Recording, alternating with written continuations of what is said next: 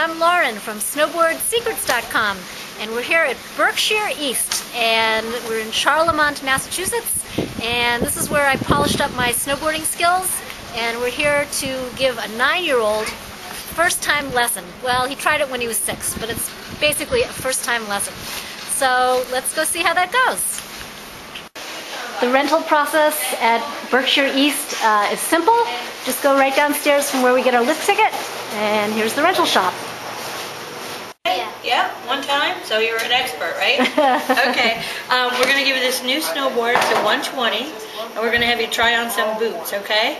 Um, they're brand new boots, and they're real easy to get on, so Ed will show you how to do that, okay? Great. You go out there, okay? You're going to put the board down. You're going to put your front foot in here. Okay, you strap the ratchet here to make it tighter, you crank it, okay?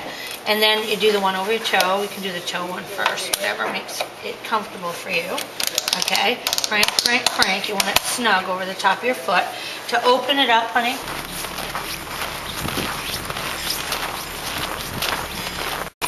you have the nose, which is the front of your board. You have the tail, back of your board. You also have two edges here toe side edge because this is where your toes will be. And then the back here is called your heel side edge because that's where your heels will be. So we're going to be working on... And you want to make sure your foot's pretty tight in there. Tell me when. This is the second time uh, trying to slide down the mountain.